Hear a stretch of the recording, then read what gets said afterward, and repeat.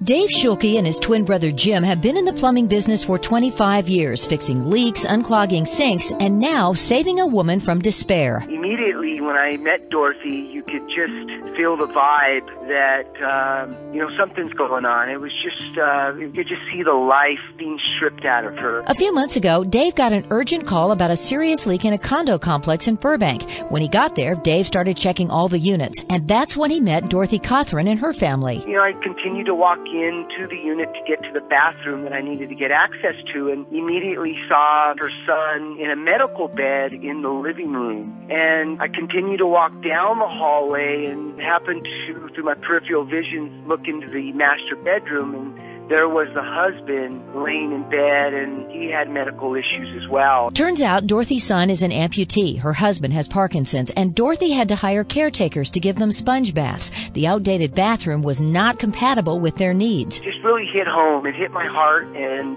I walked out. I said thank you and shut the door and to be honest with you, it was one of those uh, things in life that kind of your intuition kicks in and I knew that I needed uh, kind of step in and felt that I couldn't turn my back on these family, even though I didn't know them at all. I could just feel it. Dave talked to Dorothy and decided on the spot to remodel the bathroom. With his brother Jim, they got their suppliers to donate a shower stall, toilet fixtures, everything, and their employees donated their time to help the Cothrans. That must have made everybody feel good. It has, Diane. It's been a whole culture change in, in a positive way. It really impacted the whole company, and it's amazing because they want more. We want to do more. We are proud to name Dave and Jim Schulke as the KNX Heroes of the Week. Diane Thompson, KNX 1070 News Radio.